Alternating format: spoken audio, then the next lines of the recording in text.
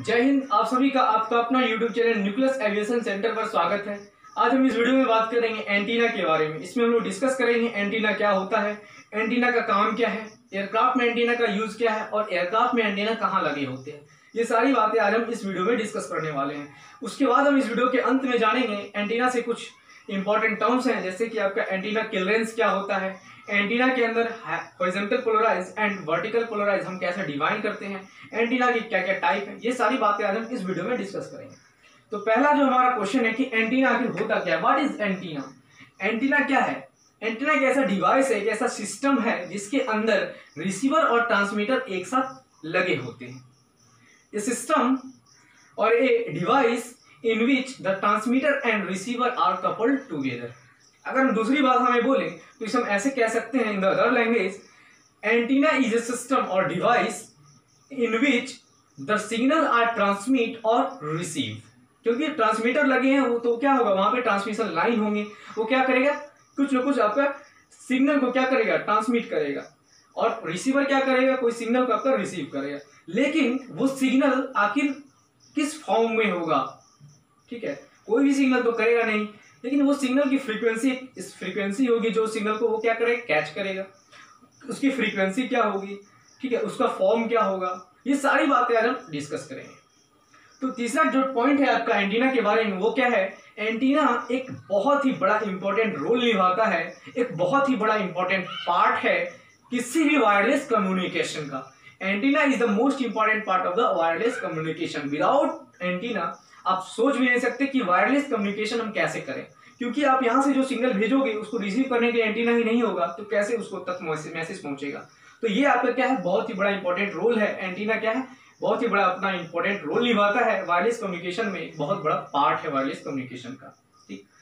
अब हम समझेंगे कि आखिर ये सिग्नल जो हमने बताया कि सिग्नल को ट्रांसमिट करता है रिसीव करता है ये किस फॉर्म में होता है? ये जो आपका सिग्नल होता है, वो क्या होता है? एक्चुअली इलेक्ट्रोमैग्नेटिक वेव होते हैं। एक वेव के फॉर्म में होता है, ठीक? यहाँ पे वेव जो हमने वर्ड यूज़ कर रहा है कि इलेक्ट्रोमैग्नेटिक वेव आखिर ये प्रोड्यूस ये जनरेट कहाँ से किया जा रहा है और कैसे किया जा रहा है, ठीक है? इस एंटीना के अंदर, इस वेव को प्रोड्यूस कैसे किया जा रहा है, ये क्वेश्चन यहाँ पे बनता है। तो इसकी हम डिस्कस करेंगे। इससे पहले आपको एक बात पता होना चाहिए कि जब आपका यहाँ पे चार्ज हो तो इसके क्या होंगे? कुछ ना कुछ आपके इलेक्ट्रिक फ़ील्ड होंगे, एक स्पेसिफिक एरिया होगा एक स्पेसिफिक इसकी रेंज होगी, जहाँ तक इसकी इलेक्ट्रिक फ़ील्ड फैली हुई होगी।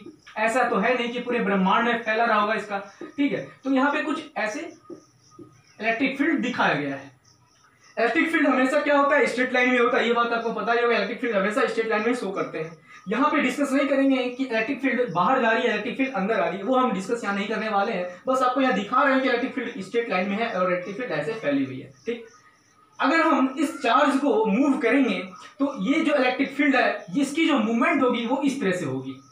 इस सारे इलेक्ट्रिक फ़ील्ड की मूवमेंट क्या होगी? कुछ इस तरह से होगी। किसी के ऐसे, किसी के ऐसे। इस तरह से मूवमेंट होगा। आखिर ये मूवमेंट हुआ क्या? आखिर ये मूवमेंट कैसे हुआ? इस मूवमेंट से हमको मिला क्या? तो इसमें हम लोग समझेंगे एक एग्ज़ाम्पल के रूप में कि ये मूवमेंट कैसे बना। कि आपका एक रोप लीजिए रोप का एक इंड को पकड़ लीजिए। ठीक है? रोप के एक इंड को पकड़कर उसको आप मूव उसको आप क्या कीजिए, इस तरह से हिलाइए। वहाँ पे क्या होगा, उस पूरे रोप का जो मूवमेंट बनेगा, वो कुछ इस तरह से मूवमेंट होगा। कुछ ऐसा ही मूवमेंट होगा। अब ये मैटर नहीं करता है, वो मूवमेंट वर्टिकली हो रहा है या हॉरिजेंटली बन रहा है या किस एंगल से किस टाइप का बन रहा है, वो हम डिस्कस नहीं करेंगे। बस इसकी मूवमेंट क्या होगी, कुछ इस वेव के फॉर्म में होगी, ठीक है? इस टाइप के फॉर्म में होगी, ठीक? तो वैसे ही आपको क्या है, जब इसको मूवमेंट इसकी चार्ज को हम क्या करेंगे मूव करेंगे तो क्या होगा, इसकी मूवमेंट जो इलेक्ट्रिक फ़ील्ड की, वो इस तरह होगी। अब यहाँ पे क्वेश्चन आता है, चार्ज को हम हाथ से तो पकड़ के मूव करेंगे नहीं। इसके लिए क्या चाहिए होगा? सप्लाई सोर्स कैसा supply source varying supply source जो क्या करे वेरी करे टाइम के रिस्पेक्ट में। वेरिंग सप्लाई सोर्स क्या होगा? वेरिंग सप्लाई सोर्स यहाँ पे देंगे। ठीक? अब ये जो वेरिंग सप्लाई सोर्स है और ये जो आपका वेव फॉर्म हो रहा है तो वहाँ पे हमने डिस्कस किया था ट्रांसमीटर ये ट्रांसमीटर और ये ट्रांसमिशन लाइन में कैसे चेंज हुआ? इस वेव का फॉर्मेशन कैसे हुआ? ये बात हम एक्चुअली डिस्कस अब करेंगे। इसकी, ये बात आपका मेन इंपॉर्टेंट बात है कि आखिर ये ट्रांसमिशन लाइन में ये कैसे बना? इस वेव की फॉर्मेशन कैसे हुई?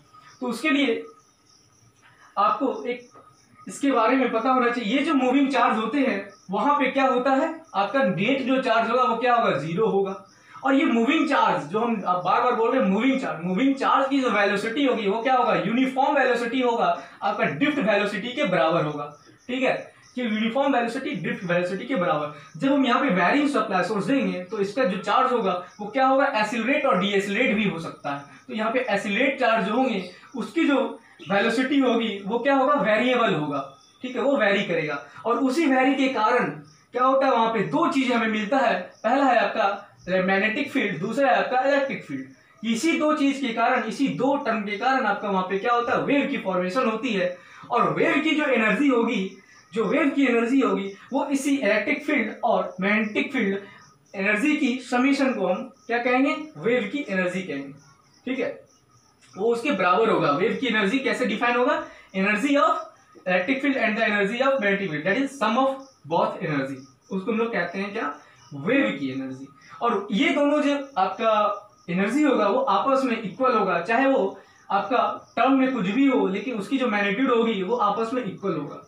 ठीक है? अब हम बात करेंगे कि आखिर ये ट्रांसमीटर ये ट्रांसमिशन लाइन में कैसे इस वेव की प्रोड्यूस हुई? कैसे ये वेव की जनरेशन हुई? ठीक? तो उसके लिए हम क्या करें? एक ट्रांसमिशन लाइन को बनाएँगे। यहाँ पे क्या होगा? सप्लाई सोर्स हमें क्या चाहिए होगा? वेरिएबल सप्लाई सोर्स इस बात को याद रखिएगा कि वेरिएबल सप्लाई सोर्स चाहिए होगा। ठीक? यहाँ पे आपका ट्रांसमिशन लाइन बना हुआ है और यहाँ पे क्या है? वेरिएबल सप्लाई सोर्स है ये आपका। ये ट्रांसमिशन लाइन आपका ओपन है। ठीक? यहाँ पे क्या होगा? करंट ज़ीरो इसके अंदर क्या क्या टर्म्स होते हैं आपका? आर एल जी सी ये सारे टर्म्स होते हैं, ठीक? अगर हम बात करें इस ट्रांसमिशन लाइन की और ये ओपन सर्किट है तो यहाँ पे ऑब्वियसली आपका जो करंट होगी, वो क्या होगा? ज़ीरो होगा। जैसे ही इस ट्रांसमिशन लाइन को, जैसे ही इस ट्रांसमिशन लाइन को हम क्या करेंगे? फर्दर इस तरह मूव करेंगे, दोनों साइड से, दोनों को हम इस तरह मूव करेंगे तो उसमें क्या होगा? ये जो टर्म्स हैं, इसके जो प्राइमरी टर्म्स हैं आर एल जी सी ये सारे चीज़ क्या होंगे? चेंज होंगे, ठीक? और हम लोग को पता है कि ट्रांसमिशन लाइन के अंदर जो लेमडा बाय टू डिस्टेंस पर अगर आपके करंट मूव करती है तो वो करंट आपके अपने मैग्नीट्यूड को रिपीट करती है। यहाँ पे फिर से क्या हो जाएगा? ज़ीरो बाय टू अगर ये लेमडा बाय टू है तो ठीक है? फिर अगर यहाँ पे आया तो यहाँ पे भी क्या हो गया? Zero by two sorry zero हो गया। और लेंथ क्या हो गया? लेमडा बाय टू अगर कवर करता है तो हम क्या करेंगे यहाँ पे? दोनों को मूव करेंगे कुछ ऐसे। ठीक है? तो इसकी जो चेंजिंग हो रही है आर एल जी सी की जो चेंजिंग हो रही है, ठीक है? इस चेंजिंग की वजह से इसकी जो इंपीडेंस होगी, जिसे हम जेड नॉट से डिफाइन करते हैं तो इंपीडेंस में चेंज आएगा। अब एक समय ऐसा होगा, जो इसके मूवमेंट को चेंज करते करते, इसकी जो है आपकी डायरेक्शन इसको चेंज करते करते, जब आपकी ये डायरेक्शन अप्रोक्स आपकी परपेंडिकुलर यहाँ पर इस लाइन के परपेंडिकुलर आ जाएगा, लगभग 90 डिग्री पे आ जाएगा तो यहाँ पे जो जेड आपकी जो जेड नॉट है इंपीडेंस जो चेंज हो रहा है वो इंपीडेंस आपकी स्पेस की जो इंपीडेंस वैल्यू होती है, उसके बराबर हो जाती है। ठीक है? उस स्पेस की इंपीडेंस वैल्यू क्या होगा? 377 ओम लगभग आपका 377 ओम होते हैं। ठीक? जैसे ही ये वैल्यू आपका गेन करेगा, ठीक है? जैसे ही ये चीज़ आपका क्या होगा? गेन करेगा, जैसे ही ये वैल्यू 377 ओम आएगा, इस इंपीडेंस की वैल्यू ठीक है? तो वहाँ पे क्या होगा? एक वेव इस तरह के फॉर्म होंगे। ठीक है? एक वेव इस तरह के फॉर्म होंगे। ये जो पूरा पावर था, वो पूरा power whole power will come out in the form of wave and this is called electromagnetic wave इसे ही हम कहते हैं इलेक्ट्रोमैग्नेटिक वेव कहते हैं। यहाँ से आपको फॉर्मेशन होती है। आप लोग देखे होंगे एंटीना का साइज़ एंटीना का जो हमेशा होता है, वहाँ पे क्या होता है, आपका सेंटर में क्या होता है सोर्स लगे होते हैं, और उसके दोनों साइड इस तरह से निकला होता है। वो जो है, क्या है आपका? वही जो है आपका ट्रांसमिशन लाइन जहाँ से क्या हो रहा है सिग्नल ट्रांसमिट हो रहा है। इसलिए यहाँ पे अक्सर क्या होता है, ये आपका 90 डिग्री ऐसे बने होते हैं। इसी कारण यही आपके पीछे, उसके पीछे यही थ्योरी है। ठीक है? तो आप इसको डिस्कस करेंगे आगे कि ये जो एंटीना लेंथ ये जो एंटीना है, ये यहाँ पे डायपोल ये आपका दो है तो यहाँ पे क्या है डायपोल और मोनोपोल क्या होता है? डायपोल क्या होता है? डायपोल की अगर हम लेंथ की बात करें तो क्या होता है लेमडा बाय टू होता है। और मोनोपोल की लेंथ की बात करें, हम लेमडा बाय फोर होता है। मोनोपोल मीन्स एक ही पोल होगा, एक ही पोल होगा। और डायपोल मतलब दो पोल एक इधर एक इधर, ऐसा दो पोल लगा होगा, ठीक? अगर हम लेंथ की बात करें, इस आपका, इस एंटीना की लेंथ की बात करें तो एंटीना की लेंथ होती है आपकी हाई फ्रीक्वेंसी और मीडियम फ्रीक्वेंसी लो फ्रीक्वेंसी इस पर डिपेंड करती है। लो फ्रीक्वेंसी और हाई फ्रीक्वेंसी की अलग अलग वेवलेंथ होती है। लो फ्रीक्वेंसी और मीडियम फ्रीक्वेंसी जो होते हैं उसके क्या होते हैं? वेवलेंथ बड़े होते हैं। वेवलेंथ बड़े होने के कारण क्या हो गया? आपका जो इसके लेंथ होंगे वो क्या होगा? बड़ा होगा। और जो हाई फ्रीक्वेंसी होता है उसकी वेवलेंथ जो होती है वो कम होती है। उस वेवलेंथ कम होने के कारण क्या हो गया? इसकी जो वैल्यू होगी इसकी जो लेंथ होगी वो क्या होगा? कम होगा। ठीक है? इसकी वैल्यू इसकी लेंथ कम होगी। सो so, क्या हम कहेंगे? हाई फ्रीक्वेंसी और ये कहें low frequency and medium frequency antenna of low frequency and medium frequency ठीक है? Length of antenna of low frequency and medium frequency is greater than higher frequency antenna ठीक है? तो यहाँ पे एक आपका एक पॉइंट आ गया कि लो फ्रीक्वेंसी मीडियम फ्रीक्वेंसी की जो एंटीना लेंथ होगी, वो ज़्यादा होगी हायर फ्रीक्वेंसी वाले से। ठीक है? अब हम डिस्कस करेंगे इसके अंदर type of antenna type of antenna की अगर हम बात करें तो एंटीना आपका यहाँ पे तीन तरह टी टाइप वी टाइप और एल टाइप ये तीन तरह के होते हैं, ठीक है? आगे डिस्कस करेंगे कि जो आप एयरक्राफ्ट में होंगे, वो कैसे एंटीना होंगे, किस शेप में होंगे, कैसे लगे होंगे, ये सारा आगे हम डिस्कस करेंगे। फिर ठीक है, आपका फिर आता है अगला टर्म क्लियरेंस के बारे में, कि एंटीना क्लियरेंस क्या होता है, ठीक है? एंटीना क्लियरेंस जो एयरक्राफ्ट में हम लोग एविएशन में हम लोग डिफाइन करते हैं, वो होता है आपका फ्यूजलाज ठीक है?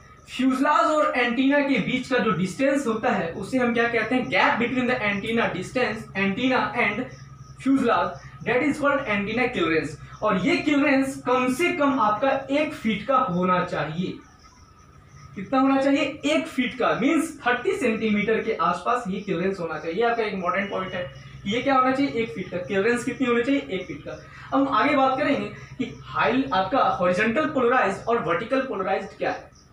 जब आपका ये एंटीना, ये जो लेंथ आपका जो ये सेम एंटीना है ऐसे तो ये एंटीना के अंदर अगर इलेक्ट्रिक फ़ील्ड अगर इलेक्ट्रिक फ़ील्ड हॉरिजेंटली है, ठीक है इलेक्ट्रिक फ़ील्ड हॉरिजेंटली है, ठीक है तो वहाँ पे क्या होगा, उसे हम क्या कहेंगे, आपका इलेक्ट्रिक फ़ील्ड हॉरिजेंटल होने के कारण वहाँ पे क्या होगा, उसको हम कहेंगे कि क्या है हॉरिजेंटली पोलराइज है। अगर एंटीना की जो सेप है वो आपका वर्टिकल में हो, ऐसे हो वर्टिकल में तो वहाँ पर जो इलेक्ट्रिक फ़ील्ड होगी वहाँ पर जो इलेक्ट्रिक फ़ील्ड होगी, वो आपका क्या होगा? हॉरिजेंट आपका वर्टिकल में होगा। और उसे हम क्या कहेंगे? वर्टिकली पोलराइज एंटीना ठीक? अब यहाँ पे एक इंपॉर्टेंट टर्म आती है इस पोलराइजेशन की, इस पोलराइज की, कि अगर हॉरिजेंटल पोलराइज और वर्टिकल पोलराइज क्या हो? डिफरेंस या फिर यू कहें कि एंटीना एंटीना आपके क्या हो? हॉरिजेंटल पोलराइज ही हो। आपके जो रिसीवर एंटीना हो, ठीक है? आपके जो ट्रांसमीटर हो ठीक है? वो आपके क्या हो? दोनों क्या हो? आपके हॉरिजेंटल में हो या दोनों वर्टिकल में हो। तो वहाँ पे क्या होता है पावर में? जो यहाँ से पावर आउटपुट जा रहा था, ये ये जाने के कारण क्या हुआ? वेव प्रोड्यूस हुई। अगर ये लाइन आपका, ये वर्टिकल और हॉरिजेंटल न होकर के दोनों वर्टिकल हो ट्रांसमिशन एंटीना एंड आपके रिसीवर एंटीना दोनों अगर वर्टिकल हो, या दोनों आपके क्या हो? हॉरिजेंटल हो तो वहाँ पर जो पावर सोर्स जो इसकी पावर जो जाएगी पावर आउटपुट जो होगा पावर आउटपुट मैक्सिमम होगा, सबसे ज़्यादा पावर आउटपुट होगा। तो ये आपका बहुत बड़ा इंपॉर्टेंट टर्म पॉइंट है कि अगर दोनों वर्टिकल या दोनों हॉरिजेंटल एक ही डायरेक्शन में हो तो वहाँ पे पावर आउटपुट जो होती है मैक्सिमम होती है। ठीक है?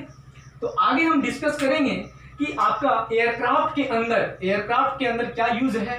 एयरक्राफ्ट के ऊपर कहाँ लगे होते हैं? अब थोड़ा सा आप डिस्कस कर लीजिए कि एयरक्राफ्ट के अंदर, एयरक्राफ्ट में जो एंटीना लगा होता है, वो आपका क्या होता है?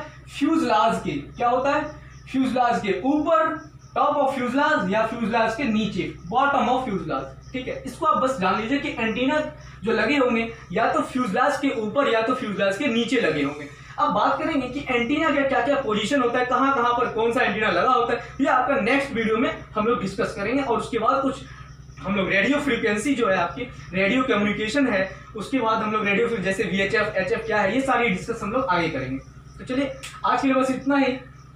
Thank you for watching my video अगर हमारा एक्सप्रेशन अच्छा लगा हो तो ज़रूर वीडियो को लाइक कीजिए, अपने दोस्तों के साथ शेयर कीजिए और चैनल को सब्सक्राइब कीजिए, ताकि हर वीडियो की अपडेट आप तक पहुँचती रहे।